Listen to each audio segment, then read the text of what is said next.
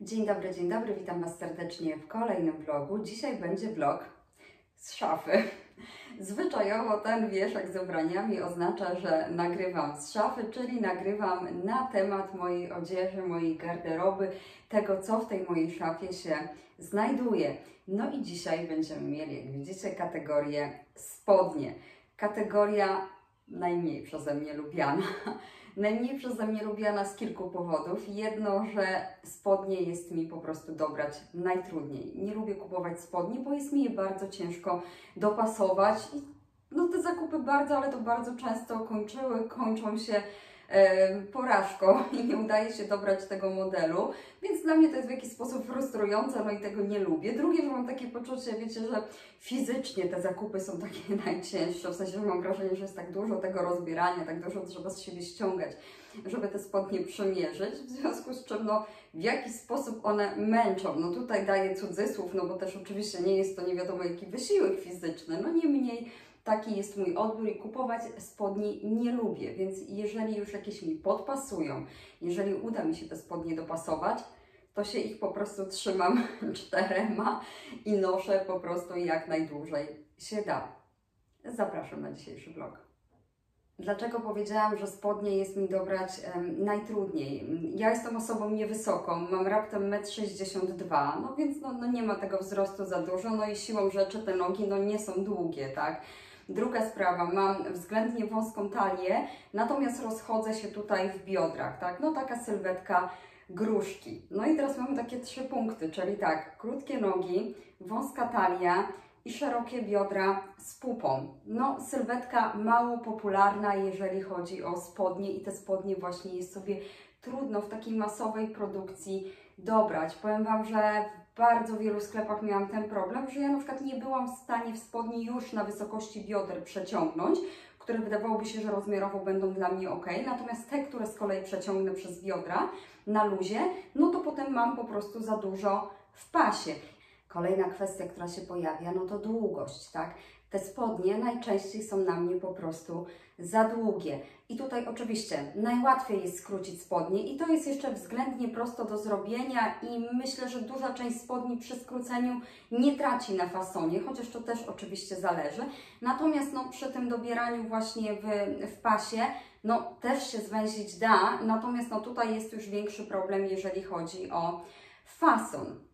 No stąd kupować nie lubię, no bo wiąże się to z jakimiś trudnościami i w chwili obecnej już te zakupy, ostatnie spodnie, które kupiłam, przerzuciłam po prostu do online'a, e, bo jest to dla mnie bardziej wygodne, jeżeli mogę sobie zamówić do domu kilka par i po prostu pomierzyć to w domu na spokojnie. No jest to mimo wszystko dla mnie bardziej komfortowe. Także zakupy e, to jest jedno, tak żeby sobie w ogóle te, mm, te spodnie dobrać, za tym nie przepadam, ale nosić spodnie już lubię bardzo.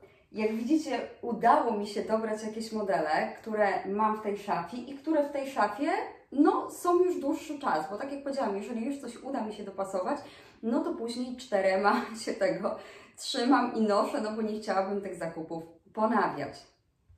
Jedno, co bym chciała jeszcze w tym vlogu powiedzieć, słuchajcie, ja nie będę tutaj mówiła o dopasowywaniu spodni do sylwetki, dlatego że nie jestem zwolennikiem kategoryzowania ubrań, że mojej sylwetce to teraz wolno nosić tylko i takie i takie spodnie, tak w takim określonym modelu. Nawet jeżeli mi się podoba inny model, no to ja tego nosić nie powinnam. No nie. Jeżeli mi się ten inny model podoba i jeżeli ja się w nim fajnie czuję, to ja będę go nosić. Wiecie, jakby spojrzeć teraz na mnie, ja mam teraz na sobie jeansy z Massimo, teoretycznie no, takich spodni mieć na sobie nie powinnam, bo one są bardzo nisko opuszczone. Tutaj, gdzie ja mam te biodra najszersze, nie widzicie tej wąskiej talii, bo mam po prostu te spodnie nisko i ten punkt odcięcia jest tutaj w biodrach. One mi też poleciały, jak mi się trochę ostatnio, mm, ostatnimi czasy schudło, więc one zleciały w dół. No i teraz spójrzcie, mam wąskie ramiona, e, no a ten punkt odcięcia spodni mamy właśnie w tym takim najszerszym punkcie, więc no tak naprawdę wyciąga to te mankamenty, no właśnie, czy, czy mankamenty sylwetki, no taka sylwetka po prostu jest. E, ja te spodnie lubię, bo one tutaj mają takie luźne nogawki w tym momencie, no właśnie przez to też, że trochę, mm, trochę mi zeszło. I je noszę. E, no i co z tego, że ktoś by powiedział, że to nie są spodnie dla mojej sylwetki, no bo ja powinnam mieć spodnie z wysokim, y, z wysokim stanem, które by tutaj wyprofilowały, wyprofilowały pupę, no i które jednocześnie podkreśliłyby tę najbardziej atrakcyjną część, czyli tę wąską talię. I takie spodnie też mam i też bardzo lubię. Natomiast nie zmienia to faktu, że noszę też inne modele, które mi się podobają, a które być może ktoś by powiedział, że nie są dla mnie. Więc no ja nie jestem zwolennikiem kategoryzowania tego, że dziewczyny, jeżeli macie e, sylwetkę gruszki, to wolno Wam nosić takie, a jeżeli macie szczupłe i długie nogi, to wolno Wam nosić takie, no bo inaczej to tę sylwetkę masakrujecie. Jeżeli Wam się to podoba, jeżeli się w tym fajnie czujecie, a nośmy sobie na co mamy ochotę. Mało tego, powiem nawet inaczej, że wręcz uważam, że jeżeli będziemy miały spodnie, które teoretycznie nie są na naszą sylwetkę, ale my się w nich super czujemy, to że i tak na zewnątrz będzie widać, że my wyglądamy dobrze, dlatego że my się w tym będziemy po prostu pewnie czuło, będziemy się w tym pewnie poruszały, niż w takim modelu, który teoretycznie byłby dla nas, tak, no ale my go może nie do końca czujemy, gdzie tak sobie wtedy przemykamy tą ulicą i najchętniej, żeby nas nikt nie widział. No ale to jest oczywiście moja opinia, nie każdy się z nią musi zgodzić. Przejdźmy może w takim razie do przeglądu spodni. Jeżeli być może moje wybory będą dla Was bez względu na sylwetkę w jakiś sposób pomocne. Słuchajcie, to co jest tutaj na początku, te mm, trzy sztuki, które świadczą o tym, że jak już się zafiksuję właśnie na coś i coś mi podpasuje, to są spodnie z Zary. Nasza sieciówka, najbardziej chyba jedna z najbardziej popularnych. Kiedyś w Zarze nie byłam sobie w stanie tych spodni dobrać, potem chyba ta moda się trochę po prostu pozmieniała i pojawiły się spodnie. Jak ten model się nazywa? No ja taka jestem właśnie biegła, biegła z trendami. Kurczę, czekajcie, będzie mnie to teraz dręczyło. Nie pamiętam, pewnie podpowiecie za chwilę w komentarzach. Czyli mamy właśnie mm, spodnie, które mają no tutaj tę e, talię troszeczkę, e, troszeczkę wyżej i które są bardzo, ale to bardzo szerokie, jeżeli chodzi o nogawki przez całą długość. E, w takim potocznym nazewnictwie, no to wiecie, taki trochę wersja na takiego bambra. Nie wiem, być może niektórzy wiedzą, co mam na myśli. Bamber, no bamber, no, no niech już sobie będzie, jak mi tak Natomiast mi się ten model spodni ogromnie podoba. No i ktoś by pewnie też powiedział, że no jeżeli ja właśnie mam te bioderka szersze, e, no i teraz będę miała całą nogawkę taką szeroką, no to sobie masakrycznie obciążam dół sylwetki. I być może tak, słuchajcie, no ale jak ja zakładam te spodnie i sobie założę tam nawet taką koszulę oversize'ową, a nawet jak założę pięty golf, to ja się w nich po prostu fajnie czuję i myślę, że to jest właśnie mm, najważniejsze. Słuchajcie, spodnie, które są niezniszczalne, no nie są fantastyczne, jeżeli chodzi o, o ich skład. Co my tu w ogóle dokładnie, dokładnie mamy?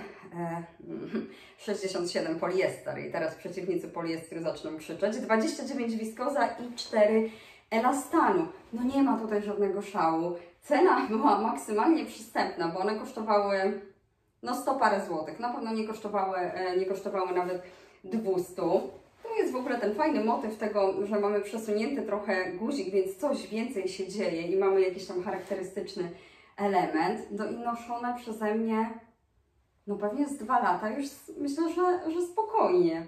Bardzo jestem z nich zadowolona. Tak jak mówię, nie dzieje się nic.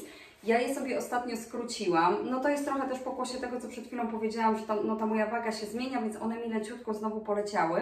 Aczkolwiek no, zatrzymują się gdzieś, um, gdzieś na biodrach i ja je musiałam skrócić. Mówiłam o tym w ostatnim vlogu, jeżeli ktoś może nie oglądał. Słuchajcie, w pasmanteriach dostępne są taśmy do skracania, do samodzielnego skracania, do, no to niekoniecznie spodni oczywiście, można sobie nawet zasłony tym skrócić, no ale generalnie jesteśmy w stanie podkleić tkaninę. Taśma do podklejania tkanin, o tak będzie, będzie właściwie. Słuchajcie, ja sobie te spodnie sama skróciłam. Spójrzcie, wygląda to myślę całkiem, całkiem nieźle. Widać? No myślę, że, że widać. Tutaj od spodu jest taśma. To jest taśma właśnie, tak jak wspomniałam, kupujemy w pasmanterii, podkładamy taśmę, zakładamy i zaprasowujemy. Żelazko parownica i to się skleja. E, jak powiedziałam o tym na Instagramie, no to tam są różne opinie, że no niekoniecznie, bo to później w praniu odchodzi. Nie wiem, ja to spodnie prałam, e, natomiast piorę w 30 i tutaj się nic nie wydarzyło. Mm, otrzymywałam też wiadomości od dziewczyn, że, że nie, że chyba zależy właśnie albo od tkaniny, albo od temperatury prania, bo no oczywiście były głosy, że się odkleja, były głosy, że się nie odkleja, jak zawsze. E, no mi się na ten moment e, nie odkleiło, uważam, że wygląda to bardzo spoko, z prawej strony żadnego podklejenia jako takiego nie widać, więc jest to prosta metoda na skrócenie spodni. Więc to jest, słuchajcie, taki pierwszy model z Zary właśnie, któremu absolutnie nic nie mogę zarzucić, z którym się nic nie dzieje, nic szwy nie puszczają, nic się z tym nie dzieje w praniu, nie przeciera się. Poliester nie zniszczała. No i tak jak mi te podpasowały właśnie, no to potem za ciosem, jejku, udało się dobrać spodnie, udało się dobrać spodnie, no to w ogóle jakie jeszcze Zara ma te spodnie w swojej, w swojej ofercie. I wtedy jako drugie, pamiętam, weszły te, taki szaro-brązowy model, to jest dokładnie ten sam fason, natomiast one są po prostu klasycznie zapinane. Zara je w tym momencie w swojej ofercie też ma, bo to nie są aktualne modele, które ja teraz pokazuję, bo one chwilę już ze mną są. Natomiast są to modele, które w kolekcjach się powtarzają, więc jeżeli komuś tak coś takiego odpowiada, to dostępne będą. Tutaj ta góra już jest zapinana mm, klasycznie, natomiast jak widzicie cały czas taka bardzo, bardzo szeroka bambrowska, bamberowska nogawka. I trzeci model, który widać, to jest dokładnie ta sama historia, czyli znowu mamy bardzo mocno poszerzone na całej długości nogawki, jakiś szaflunik e, z, z klasycznym zapięciem kolorze beżowym tym razem. No i tak naprawdę to są e, te trzy pary, które mi się super sprawdzają, no które, no tak jak mówię, nie mają fantastycznego składu, natomiast zachowują się na przestrzeni czasu genialnie i udało mi się je bardzo fajnie dopasować i ja się sobie w nich podobam. No tutaj w grę jedynie weszła kwestia skrócenia tego. I słuchajcie, druga marka spodni, która się pojawiła, gdzie stwierdziłam, że potrzebuję czegoś takiego bardziej eleganckiego, mm, jakby wytłumaczyć takie moje czysto subiektywne poczucie bardziej eleganckiego, bo te spodnie oczywiście też można w wersji eleganckiej nosić. Je noszę z koszulami, natomiast no, miało być trochę bardziej klasycznie. I w pierwszej wersji pojawiły się te spodnie w kolorze kremowym. One, słuchajcie, bo to może być widać na zbliżeniu, ja się starałam je odkłaczyć, one przyciągają z powietrza po prostu wszystko. Każdy kłaczek, który lata w powietrzu, z pewnością osiądzie na tych spodniach. No niestety, to i to, one teraz na tym wieszaku pewnie średnio atrakcyjnie wyglądają, to są spodnie marki and Other Stories. Ja do tego sklepu zaglądałam wcześniej e, stosunkowo rzadko i właśnie jeżeli chodzi o poszukiwanie spodni zeszłam trochę z przypadku, no i okazało się, że to jest w ogóle strzał, strzał w dziesiątkę. To są takie bardzo grube spodnie, ciężkie. Na lato myślę, że niekoniecznie się nadają. Taki sezon wiosna, jesień, e, zima, czyli duża część roku w naszym, w naszym klimacie. Tutaj mamy tą nogawkę też trochę szerszą, Natomiast ona trzyma tę sztywność i no one wydają się takie bardziej, bardziej masywne, no nie wiem, porządne, e, eleganckie. Natomiast co ciekawe Wam teraz jeszcze powiem a propos spodni. Te modele, które mam z Zary, to są spodnie w rozmiarze 34. To są spodnie w rozmiarze 40. 34, 36, 38. Patrzcie, jaka jest gigantyczna różnica w rozmiarach. No, ja jak zaczęłam mierzyć, pamiętam, jak byłam kupić te spodnie, no to zaczynałam tak, no od tam no, 36, no bliżej 38 ze względu na te biodra. Okazało się, że 38 nie było mi dobre i potrzebowałam 40. No i teraz spójrzcie, 3, 4, 40. Kasia, jaki rozmiar nosisz? No, to zależy. Natomiast no tak, dopasowało mi to właśnie w tym rozmiarze, w tym rozmiarze 40. No i też tak mi się spodobało, że rany, no jak już się udało te spodnie dopasować i mam takie klasyczne właśnie kremowe spodnie, no a nie mam czarnych. No i wtedy właśnie dokupiłam dokładnie ten sam model, dokładnie ten sam rozmiar właśnie w kolorze czarnym. E, troszeczkę teraz zrobiły się za luźne, za luźne w pupie i tutaj pewnie będzie trzeba pomyśleć nad zwężeniem. Natomiast jestem z nich bardzo zadowolona i też je w tej szafie trzymam i mam nadzieję, że będę je jak najdłużej nosiła. Więc to są takie spodnie e, materiałowe, eleganckie. Nie wiem czemu, no takie, takie określenie zawsze, e, zawsze nadaje. Natomiast trzecia kategoria spodni, która jest u mnie, no to są. I jedne jeansy to są te jeansy z Massimo. Bardzo przypadkowy zakup, kiedy no potrzebowałam na szybko od ręki tak po prostu jeansów i kupiłam te w Massimo. Klasyczny model, no mówię, tutaj trochę pojechało właśnie, bo teoretycznie to ja je powinnam mieć mniej więcej na tej wysokości, natomiast no spadają, ale no, no co, no cały czas jest wszystko z nimi jak najbardziej ok. Trochę się kolana wypychają, wy chyba mnie teraz na wysokości kolan nie, e, nie widzicie. Natomiast no noszę sobie i to są takie tam moje codzienne spodnie. Jakoś mi większego szału nie robią, nie powiem, żeby to były jakieś fantastyczne jeansy, ale są, noszę i, i czuję się w nich względnie ok. Natomiast nowość, którą mam od jakiegoś czasu w szafie i ona się pojawiała w tych materiałach dotyczących polskich marek, E, To są jeansy polskiej marki Denimu. To są w ogóle jeansy częściowo, słuchajcie, z, z recyklingu, więc gdzieś za marką stoi e, też jakaś, e, jakaś idea. To są już z kolei e, które mają wysoki stan, e, czyli no tak pożądany dla mojej sylwetki wysoki stan, w którym też się fajnie czuję, ale w tym też się fajnie czuję, no i też sobie będę nosić.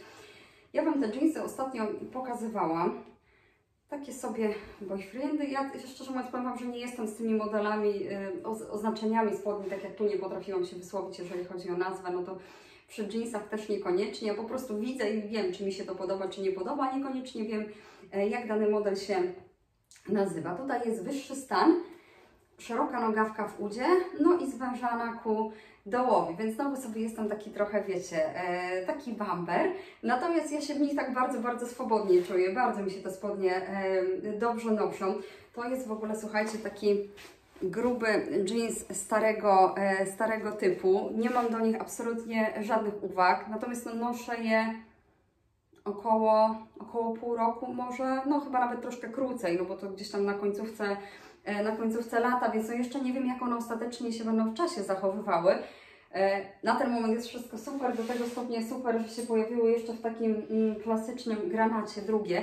Ja Wam ostatnio wspominałam, że te mam z kolei w rozmiarze M e, i one się rozchodzą. Jeżeli byście właśnie kupowali denimu, to weźcie poprawkę na to, że one przy dłuższym chodzeniu no jednak łapią, łapią luzy i są do rozchodzenia. I ja Wam wtedy wspominałam, że e, nie wiem, czy nie powinna mieć eski. No i te drugie właśnie, które mam w tym granacie, to już jest eska i tu faktycznie tą różnicę e, w rozmiarze już widać i te mam dopasowane. Tutaj mamy ten klasyczny wysoki stan, dopasowanie tak obcisłe przez pupę i obcisłe na całej długości, więc no, na dobrą sprawę wyglądają na mnie zupełnie inaczej. I to jest wszystko, słuchajcie, jeżeli chodzi o spodnie. 3, 4, 5, 6, 7, 8 na sobie.